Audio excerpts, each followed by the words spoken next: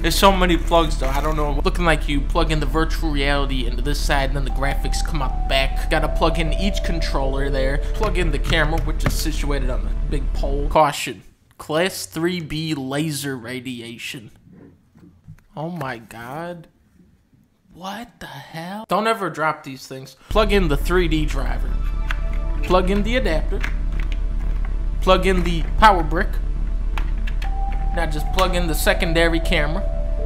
Now, install an additional power outlet. Activate the voltage amplifier. Carefully remove the BC3 chip from your headset. Tiny bit of olive oil. Now using a power tool, rotate the engine into the on mode. And it's as simple as that really. Let's play now. Welcome to a new reality. Whoa. I'm in the Oculus Drive. What? Are you? I'm still plugging stuff in. It's just like real life. Here I am with my boxing instructor, Gru, from uh, that movie Despicable Bitch. Now, the thing about Gru is you can punch him no matter how many times you hit him. Dude's not gonna blink. He doesn't care. Look at him. Isn't that right, Gru? Isn't that right? Gru, ain't that right? You're not gonna blink. Ain't that right? Ain't, ain't, ain't gonna blink. The man has nerves of steel. Oh my god. I'm in virtual reality playing an arcade cabinet. Oh my god. Goodbye, GameCube. This is the Star Trek game. Oh, there's a man approaching. Oh god, he's shooting at me. Hi. Oh, oh. I'm dead. Oh, how do I shoot back? Like this, this, this, this. There we go. Freeze for the sky. Oh. Ooh, now we're cooking.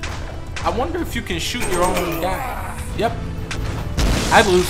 What is this stupid grid I keep seeing? Go away. Oh shit. Welcome y'all to Cooking with the Dunk. Today, I'm gonna... Polly, mushrooms? Come on, you know where these go. Today, I'm gonna show you guys one of my most popular recipes, chicken al ghul. It all starts with a pretzel. Now, I like to use uh, grape juice. I like to use the good stuff, and you just want to put a little dash on there. You don't want to. You don't want to completely oversaturate the flavor. So you just want to put on just a little grape.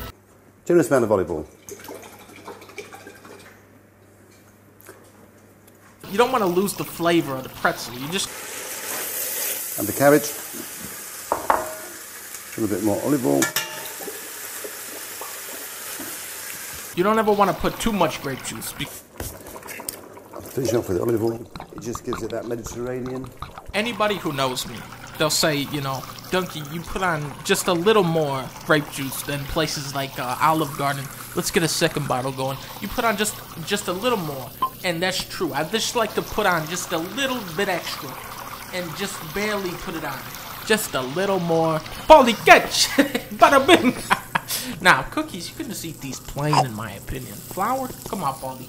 You know that doesn't belong in there.